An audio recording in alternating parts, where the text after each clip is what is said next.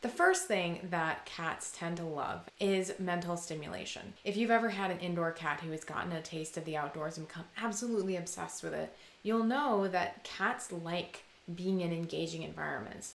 But there are other ways to give your cat that stimulation. One way is to simply let your cat sniff food while you're preparing it or eating it. And another is to train your cat. That's really stimulating for the cat, and I think it kind of, in a way, scratches that itch for hunting because it forces your cat to do something and work for that reward. And then the last thing that cats love, they're humans, they're owners.